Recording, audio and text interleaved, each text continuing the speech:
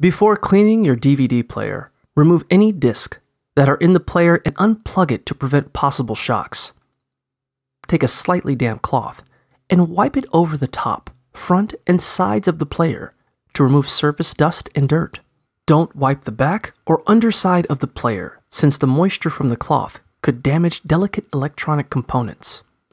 Instead, use a soft, dry cloth to wipe around the cable ports, vents, or any other areas on the back or bottom of the DVD player where you notice a buildup of dust.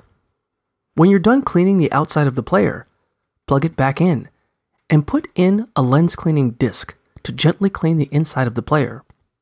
Follow any prompts on the screen while the cleaning disc is running.